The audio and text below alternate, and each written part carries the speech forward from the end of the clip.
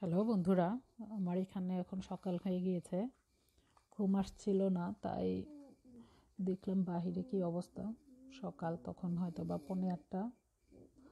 আমি পর্দাগুলো সরিয়ে দিচ্ছি। বাইরে আপনারা দেখতে পাচ্ছেন, কোনো প্রকারে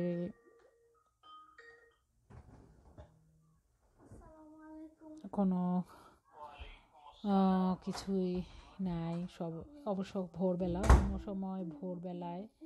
এখানে মানুষজন বাচ্চাদেরকে নিয়ে স্কুলে যায়, তখন একটা বিজি থাকে, কিন্তু এখন খুবই কোয়াইট প্রায় আটটা বাজতে পাঁচ মিনিট বাকি।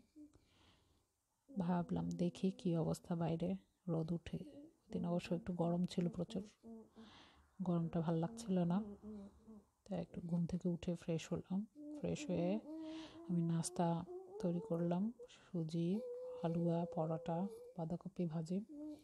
আমার বাচ্চারা ঘুম থেকে উঠে গিয়েছে, আমার মেয়ের হোমওয়ার্ক ন্যাশন ওয়াইড ওরা টিভিতে দিচ্ছে ন্যাশনাল টিভিতে বাচ্চারা যারা ক্লাস ওয়ান থেকে সিক্স পর্যন্ত, তাদের জন্য এই কারিকুলামের ন্যাশনাল টিভিতে সবার কমন যেটা পড়ে সেই হিসাবে ক্লাসগুলো নিচ্ছে।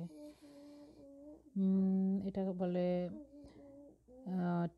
আরটি হাব স্কুল বাচ্চা, আমার মেয়েও এটা ফলো করছে অবশ্য।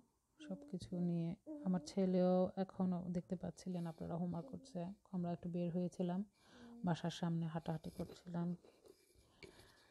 ওরা সাইকেল চালাচ্ছিল। সাইকেলে অবশ্য একটু রোদ ছিল বলে বের হওয়া হয়েছিল। বাচ্চারা ঘরে বসে থাকতে থাকতে বোর ফিল করছে। যার কারণে আমরা নিয়ে মাঝে মধ্যে বেরোই উইকলি একবার কি দুবার। কারণ এই সময়টা তো এখন বের না হওয়াটাই ভালো।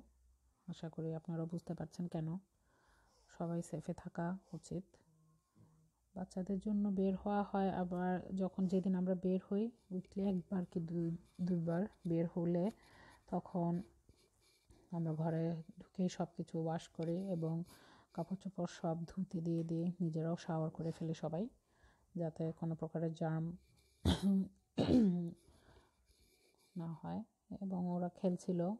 আমাদের বাসার সামনে একটা ফুটবল খেলার মাঠ আছে, যেটা আসলে রেসিডেন্সিয়াল এরিয়ার ভিতরেই। এই জায়গাটা ওরা এসে সবসময় খেলে আমার বাচ্চারা। ওদেরকে সবসময় প্রোটেকশন দিয়ে মাস্ক গ্লোভস সবসময় আমরা দিয়ে দিয়ে দিই হাতে, কিন্তু এখন বেশি প্রোটেকশনে রাখতে হচ্ছে।